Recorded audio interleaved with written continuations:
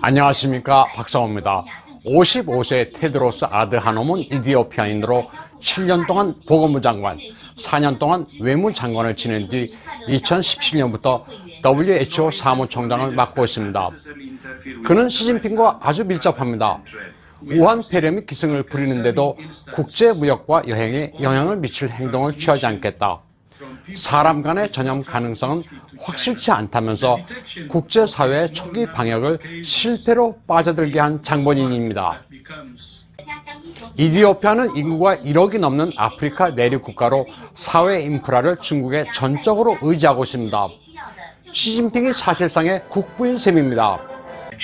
이디오피아의 철도는 중국 철로 공사가 건설했는데 70%의 자금은 중국 은행의 돈입니다. 중국은 이뿐만 아니라 이디오피아의 철도 운영에 관여하며 지원들도 교육합니다. 이디오피아 정부는 온통 중국풍입니다. 아프리카 55개 국가로 구성된 아프리카 연합은 중국의 텃밭이 돼버렸습니다.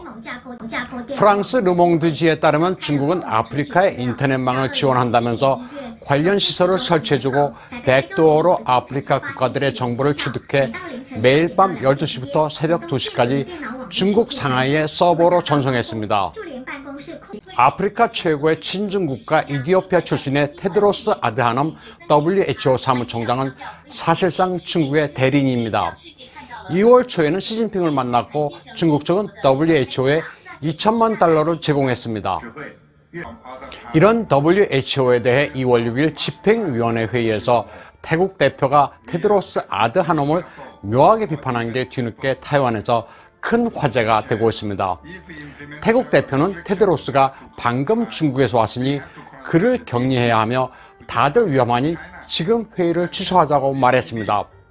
그러나 다른 사람들이 테드로스 때문에 감염될 위험이 아주 높지만 자신은 예외라고 했습니다. 그 이유는 며칠 동안 테드로스로부터 악수를 거절당했기 때문이라고 했습니다. 그러면서 의장은 테드로스 옆에 앉아 있으니 아주 위험하다고 말해 좌중에 웃음을 이끌어냈습니다. 앞자리 인도 대표가 웃는 모습이 보입니다. 태국 대표는 또 WHO가 일을 제대로 하려면 우한에서 전문가 회의를 열어야 한다고 했습니다. 그리고 간 김에 2000년 전에 지은 우한의 황루도 구경하자고 했습니다. 베이징에서 회의를 하면 만리장성과 자금성을 구경할 수 있는데 마침 사람도 없고 가격도 싸니 얼마나 좋냐고 비아냥거렸습니다. 그런데 태국 대표의 발언만큼 재미있는 상황이 벌어졌습니다. 중국을 신랄하게 비꼬는 발언을 동시 통역사가 두려웠는지 엉터리로 통역했습니다. 당시 출석했던 중국 대표는 영어를 이해하지 못하고 속마음을 잘 얘기해줘서 감사하다. 세계 각국이 중국과 중국 인민을 지지해준 데 대해 감사하다고 답변했습니다. 중국 네티즌들은 태국 똠양꿍식 조롱에 어리숙한 중국 대표가 한방 먹었다는 반응을 보였습니다. 최근 인터넷에는 테드로스와 전임 사무총장인 메거리 첸의 볼성 사나운 사진이 공개됐습니다. 메거리 첸이 테드로스의 손을 잡아 끌고 걸어가는 장면인데 국제사회에 공개된 장소에서 이런 행위는 비상식적이라는 반응이 나오고 있습니다. 악수나 가벼운 포옹 정도는 에티켓이지만 이런 포즈는 부부나 연인이 아니고서는 있을 수 없습니다. 테드로스에 대한 국제사회의 비난은 매우 높습니다. 그를 파면하자는 청원이 3월 7일부로 44만 명을 돌파했습니다. 메거리 채는 홍콩 위생서장을 지냈을 당시 조류 독감에 제대로 대처하지 못했으며 사스의 진상을 은폐한 바 있습니다.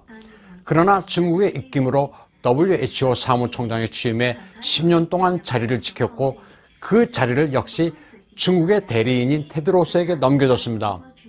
그녀는 현재 중국 공산당 정협위원으로 홍콩의 반공 자유화 시위를 격하게 비난하기도 했습니다.